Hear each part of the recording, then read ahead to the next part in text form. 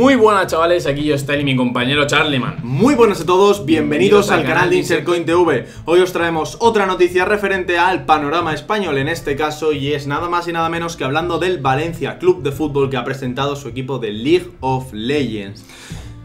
Con esto se resuelven unas cuantas dudas que tenía la gente por ahí de hey, ¿qué pasa con Pepinero? ¿Qué pasa con Adri? ¿Dónde se van? Eh, ¿Se pasan al CSGO? ¿Se pasan al Parchís profesional? Ojo, Mm, no, ojo, no. al piedra, papel, tijera, al mundial de piedra, papel, tijera, tío.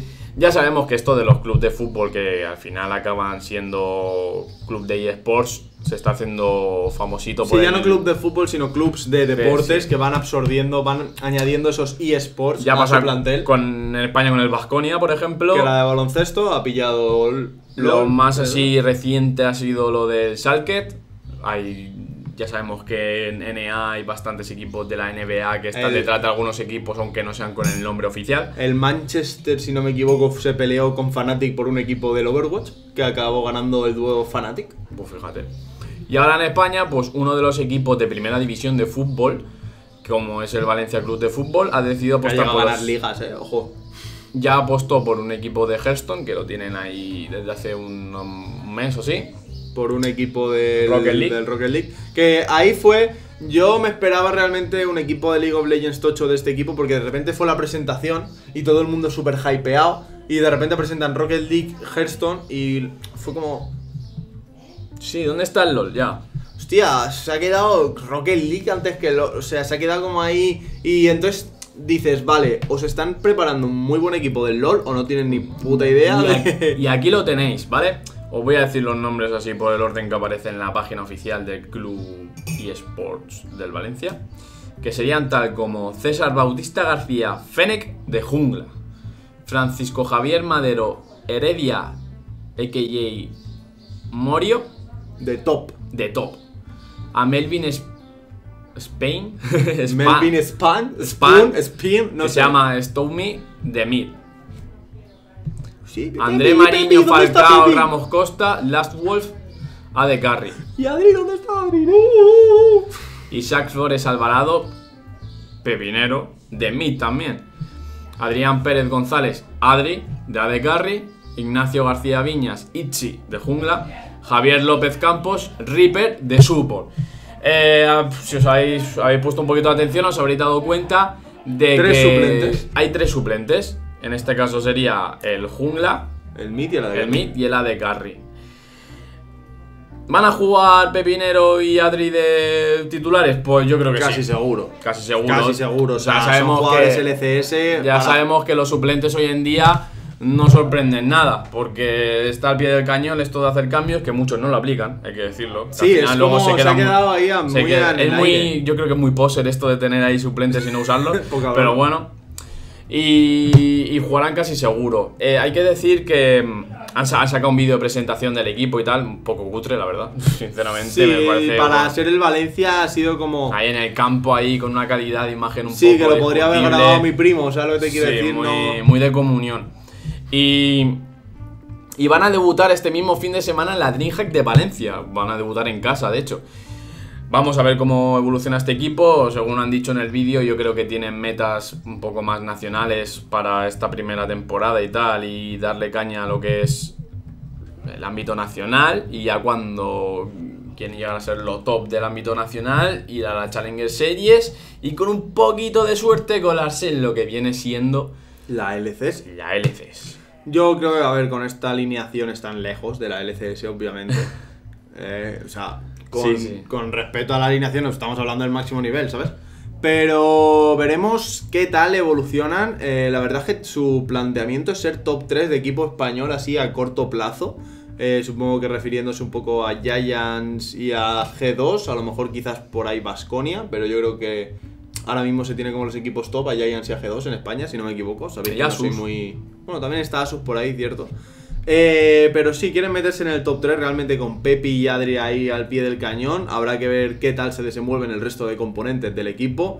Eh, me sorprende que de los tres suplentes, dos sean justo el de Pepinero y el de Adri. Y luego el otro de Jungla. A lo mejor tienen ahí y dicen, hostia, es que a ver si van a volver a jugar y de repente coge Pepi y se marca toda la partida y le quiere fichar Rocket o, algo así y nos abandona. Esto no sé si. si es que ese tipo de cosas no estoy muy puesto, ¿vale?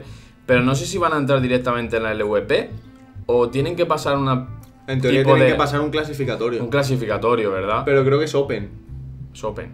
Eh, O sea, me no refiero, creo- no, creo- es, no no es que- liga, sino que Ya, es un sí, sí, Open es un en el que tú tienes que. No creo que, a ver, sinceramente yo creo que este equipo no tendrá ninguna dificultad en clasificarse en ese Open para entrar en la división de honor, ¿vale? O sea, eso seguro. Y posiblemente, estamos hablando de dos, dos jugadores que han jugado en la y LCS. posiblemente el torneo este de la DreamHack se lo lleve este equipo. Si no participa ningún equipo más tocho, que no lo sé. No estoy muy puesto, ¿vale, chavales? No me voy a mojar. Pero lo que, como bien ha dicho Charlie, de llegar a. de Challenger y llegar a la LCS ya. Olvidaos un poco por encima porque Pepinero es muy bueno, Adri es bueno. El resto de. de Son más incógnitas. son más incógnitas. Tampoco- Itchy sí que lo conozco un poco. Pero. mm, no estoy muy puesto en ellos. No sé si pueden llegar a hacer un, a hacer un papelón y llegan ahí a lo más alto. El apoyo también de dos, de dos personas que han estado en la LCS bastante tiempo. Bueno, una temporada. Sí, eso, y saber cómo manejarlo, cómo se juega ahí, Claro. a qué se juega, eh, qué tipo de estrategias, el tema de la comunicación, todo es mucho más serio ahí, las scrims, el, ¿sabes? Todo el rollo de la LCS, extrapolarlo a un club que van a empezar, que será el Valencia, pero va a empezar desde abajo, desde cero. Pues yo creo que les va a hacer, les va a llenar el camino mucho, aparte de las mecánicas Y individuales. ya obviamente. hablando en plata, o sea, es el Valencia Club de Fútbol. Entiendo que, que. que empiecen por este esto, ¿sabes? Pero si realmente el equipo está dando buenos resultados y quieren dar el salto, tienen el dinero suficiente para fichar jugadores top. O sea, Sin duda. Sin duda, el que aquí en este equipo yo creo que les estarán pagando bien, sería lo lógico, si no muy mal por parte del Valencia, e incluso por los jugadores por aceptarlo. Pero supongo que les estarán pagando un sueldo bastante decente.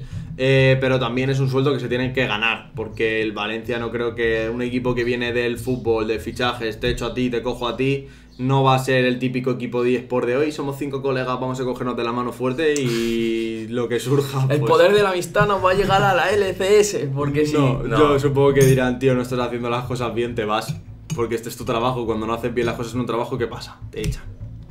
Eso ya puede ser jugador de LoL, jugador de fútbol o reponedor en el Mercadona. Que si haces las cosas mal en tu trabajo, te van a echar y van a pillar a alguien que haga las cosas bien, que para algo te están pagando.